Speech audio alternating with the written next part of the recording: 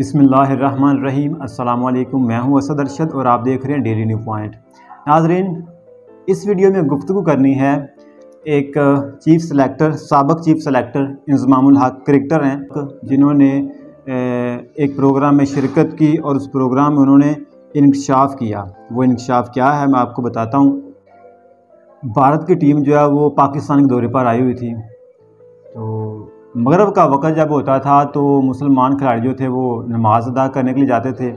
इंजमामुल हक बताते हैं कि हमने एक कमरा सेट किया हुआ था और उस कमरे में हम नमाज़ अदा करते थे। तो भारत की टीम जो है उनमें भी मुसलमान खिलाड़ी थे। तो जब उनको वो नमाज़ पढ़ने के लिए जाते तो उनको दावत करते कि भैया वो नमाज़ पढ़ते हैं। तो वो उनके साथ चले भी जाते। तो उनके साथ कुछ दूसरे खिलाड़ी, भारतीय खिलाड़ी हैं, वो भी चले जाते। हैं वो नमाज़ नहीं पढ़ते थे, लेकिन वहाँ बैठ कर बातें सुनते थे। मौलाना तरक जमील साहब जो हैं, वो नमाज़ पढ़ाते थे। तो नमाज़ पढ़ाने के बाद वो चंद मिनट्स के लिए गुफ्तु भी फरमाया करते थे उस वक्त। तो वो उनकी गुफ्तु सुनने के लिए चले जाया करते थे और पास बैठ कर उनकी गुफ्तु सुनते थे। तो एक दिन ऐसा हुआ कि इंजमामुल हक साहब बताते हैं कि जो भारत के खिलाड़ी हैं हरभजन सिंह उन्होंने मौलाना तारक जमील साहब की तरफ़ इशारा किया और कहा कि मेरा दिल करता है कि मैं इस आदमी की बात मान लूँ। अब वो तो नहीं जानता था कि मौलाना तारक जमील साहब कौन है। उन्होंने तो बातें सुनकर मुतासर हुए ना उनसे कि हाँ भाई ये बंदा बात ठीक कर रहा है। उनकी बातों से मुतासर हुए और ये अल्फाज कहे कि मेरा दिल करता है, ये जो बंदा है मैं इसकी बात मान लूँ। तो इंजमामुल हक ने कहा कि भाई अगर तुम्हारा दिल करता है तो फिर मान लो इसमें क्या अर्ज़ है।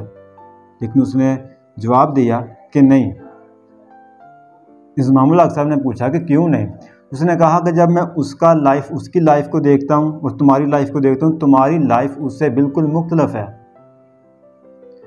तो लाइफ स्टाइल को देख कर बहुत सारे जो गैर मज़हब हैं, वो इस्लाम की तरफ़ आते हैं। बहुत सारे गैर मज़हब जो हैं, वो उन्होंने इस्लाम कबूल किया भी है।